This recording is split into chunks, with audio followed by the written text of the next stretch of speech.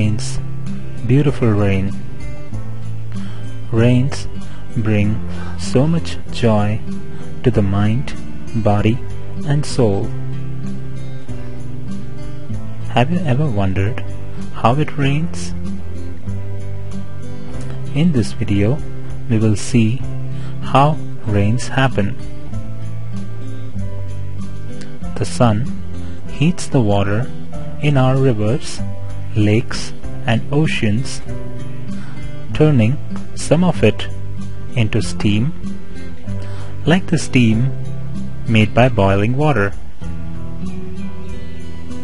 This steam goes up into the sky where it turns into clouds.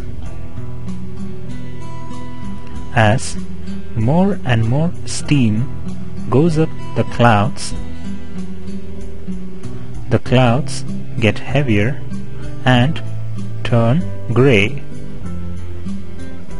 When the clouds get too heavy to stay in the sky, they break up and fall back to the land as rain, hail, or snow. This happens over and over again, and so it's called the water cycle. Hope you have now understood the rain forming process. Have a wonderful rainy season.